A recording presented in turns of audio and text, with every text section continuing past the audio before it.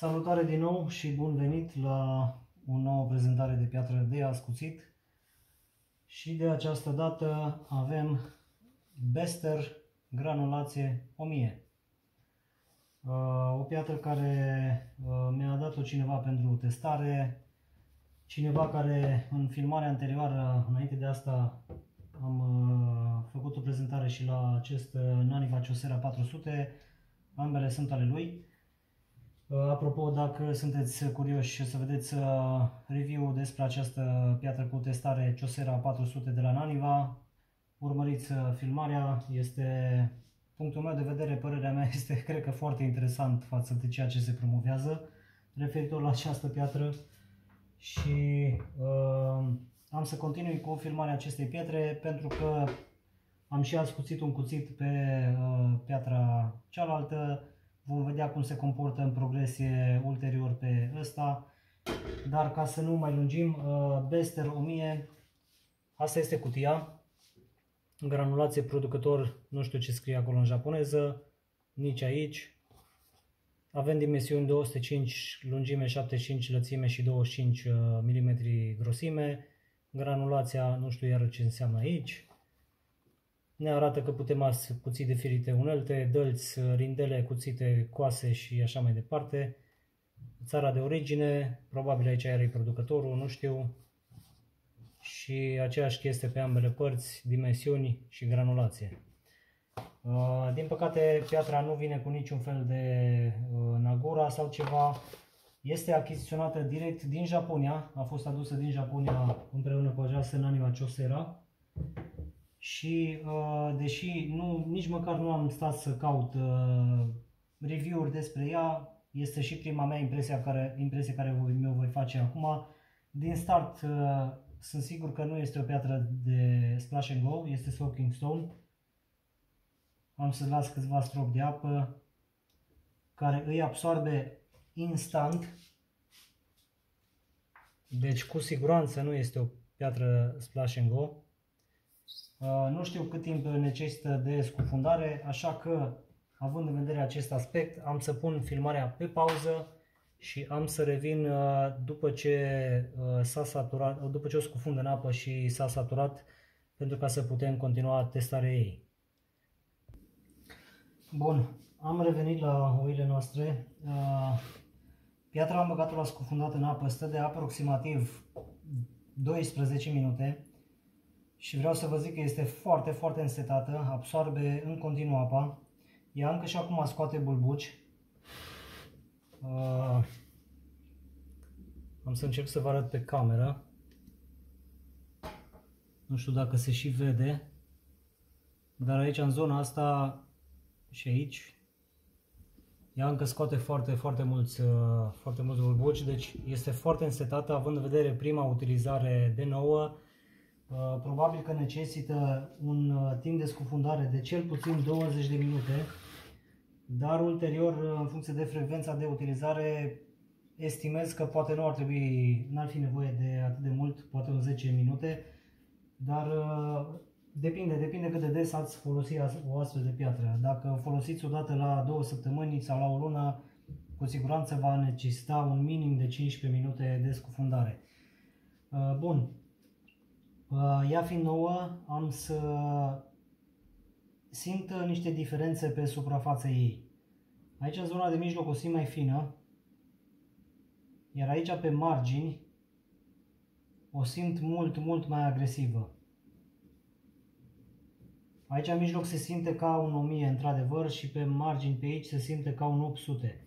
Astfel că primul lucru care am să-l fac va fi să planeizez piatra și să recondiționez suprafața. Vedem dacă numai bine e planeizată încă de nouă. Și vedem dacă se schimbă feedback-ul ei.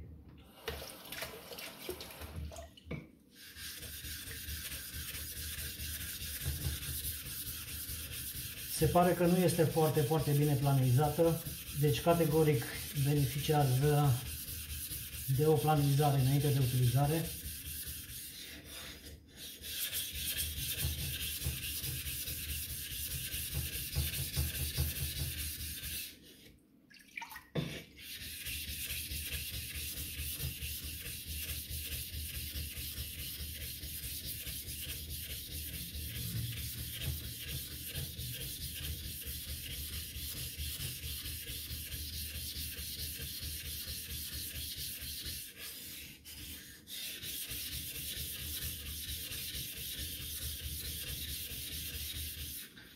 Și destul de, de multă planizare din ce observ eu, ceea ce nu-mi place.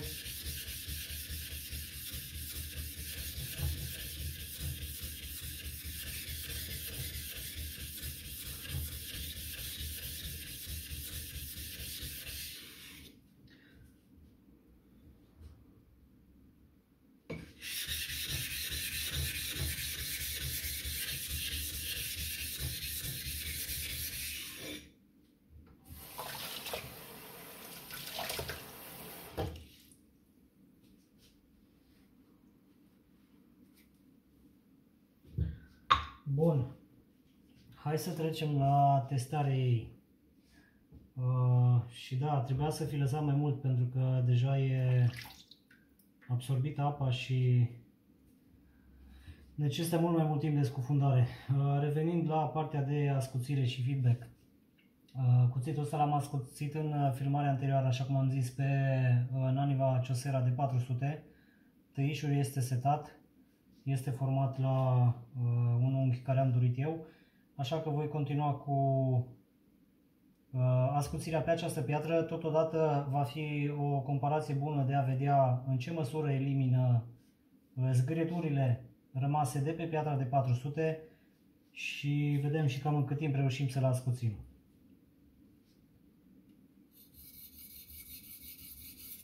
Bun, din start Uh, este clar că piatra pilește uh, agresiv, foarte, foarte bine încă din prima, deci nu se pune problema că este înceată. Din potrivă,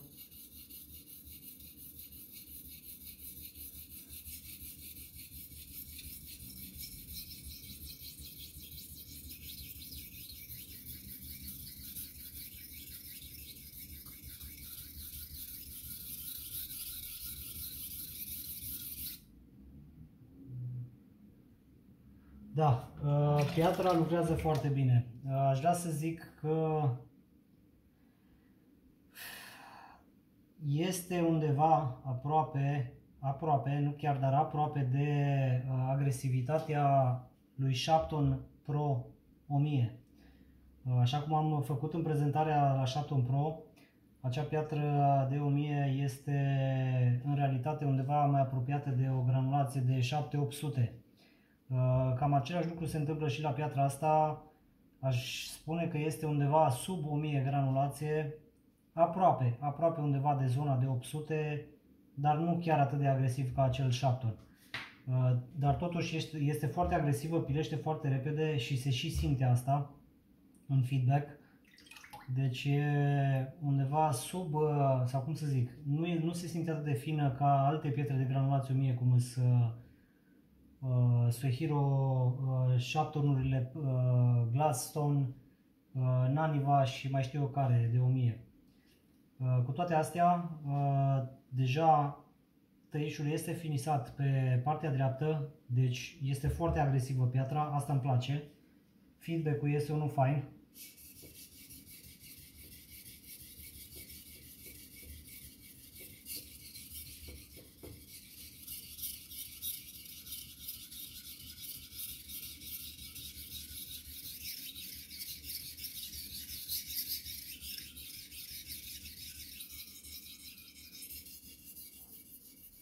Nu știu să zic dacă se simte mai tare ca un Suehiro.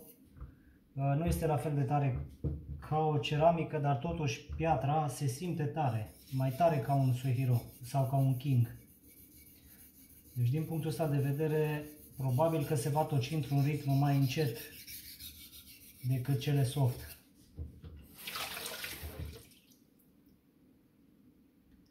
Bun, practic am terminat pe, pe această piatră, pe acest cuțit, pe lama acestui cuțit, care miezul este din oțel carbon. Uh, tăișul este finisat, urmează doar să debavurez. Piatra se încarcă un pic mai mult decât uh, m-aș aștepta eu față de exemplu de un Suehiro se încarcă mult mai tare Uh, ia să vedem și cât de repede se curăță.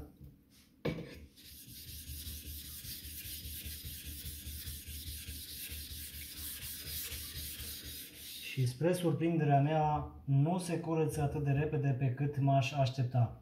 Ce înseamnă asta? Înseamnă că pilitura rămasă în piatră după ascuțire uh, sau în timpul ascuțirii deja începe să afecteze performanța uh, pietrei în a pili oțelul. Cu toate astea, după cum am văzut, uh, cuțitul s-a ascuțit foarte repede, deci nu are niciun fel de problemă. Dar totuși se încarcă mai mult decât mă așteptam.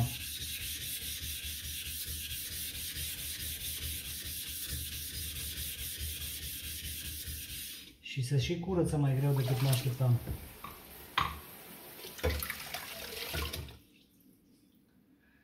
Încă se mai văd ceva urme de, de pilitură, dar n-am să insist acum ca să nu prelungim uh, prea tare filmarea.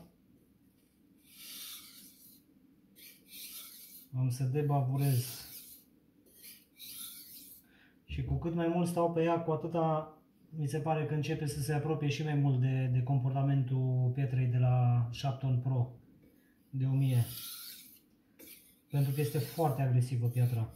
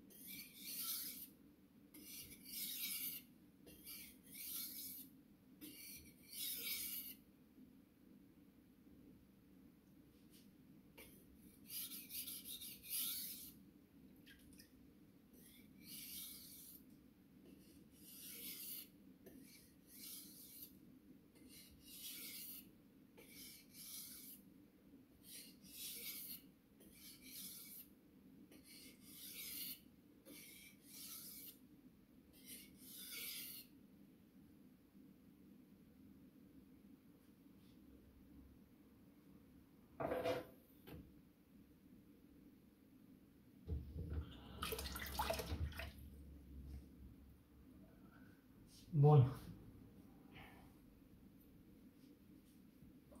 Hai să vedem și cum taie.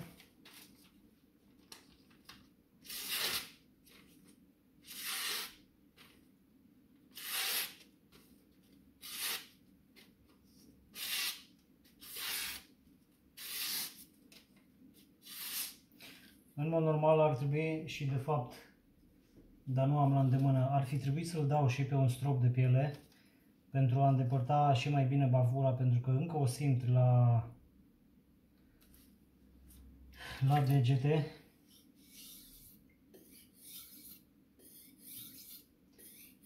Și deși pentru acest cuțit mă așteptam să se debavureze mai repede, ceva mi se pare ciudat. Ascute foarte agresiv piatra, foarte agresiv, dar când vine vorba de a debavura, mi se pare că nu îndepărtează atât de, de repede bavura așa cum o, face, cum o fac alte pietre. Pentru că evident cuțitul ăsta l-am mai ascuțit de o grămadă de ori. Pe multe alte pietre și până acum pe această piatră îl debavurez cel mai greu.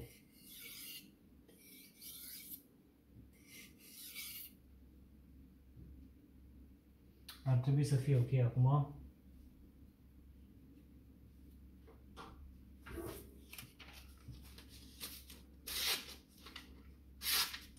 Da, este mult mai bine.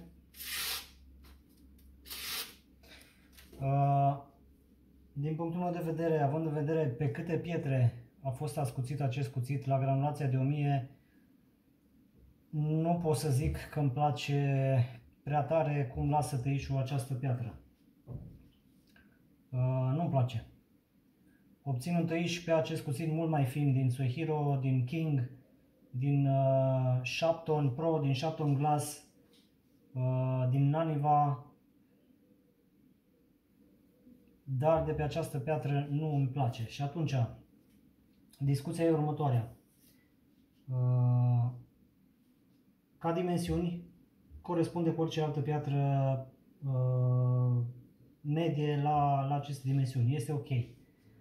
Pare a fi un pic mai tare decât un uh, Suihiro sau un King, dar uh, nu la fel de tare ca un uh, Shapton sau un Glass sau Pro.